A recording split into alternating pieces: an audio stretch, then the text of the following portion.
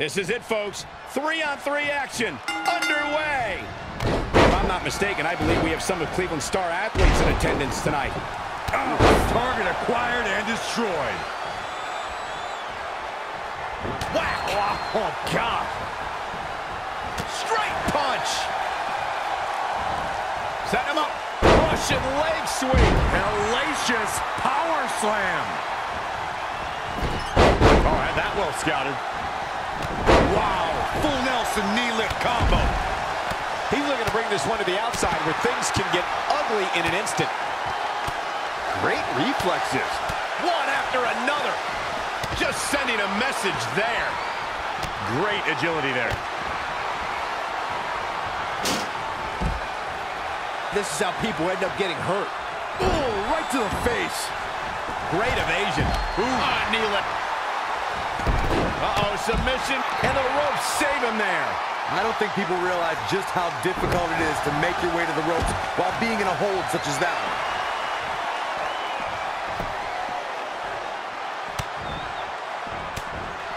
Had it scouted. Drop kick from behind. Ouch. Back inside the ring. The Florida Keys!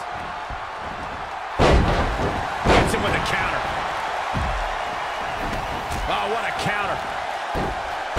Snap suplex, very effective.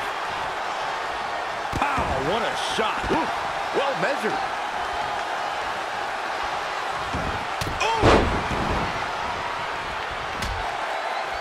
He's looking to fly. Fujiwara armbar.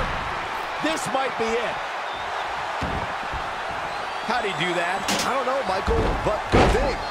I don't think he could have taken much more of that. Look out here. He's got... Oh, look out.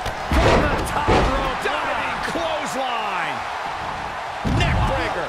Russian leg sweep. Carefully measured knee drop.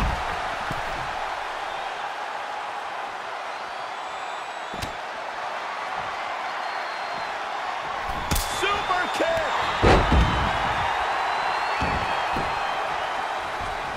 Proving tough to catch. Ah, gut buster.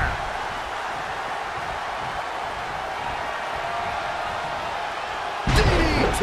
Landed. He's playing with him now.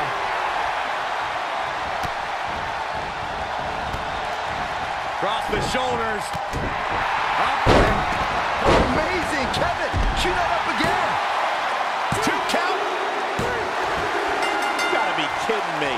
What a six-man match. Let's look back on the action from the last match.